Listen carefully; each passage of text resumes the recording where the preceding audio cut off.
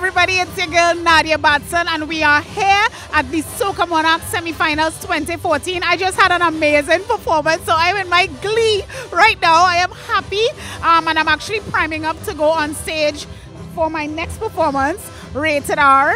Um, and yeah, I say thank you to everybody for supporting me so much over the years, especially this season. Carnival 2014 has, 14 has, is just phenomenal for me, and I thank you so much, so much, so much. I love you.